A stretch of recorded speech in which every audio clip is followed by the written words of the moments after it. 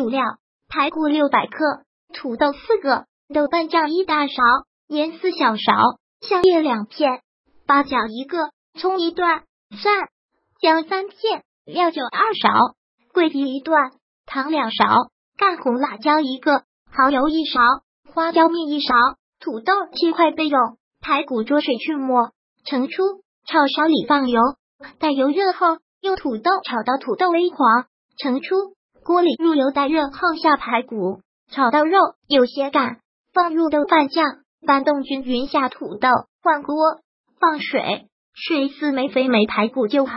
加入盐、料酒、老抽、蚝油、胡椒面、葱姜蒜、桂皮、香叶、八角。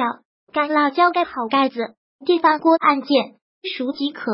烹饪技巧：如果有山楂，放一点软的很快。如果喜欢本视频，请分享并订阅本频道，别忘了按赞哦。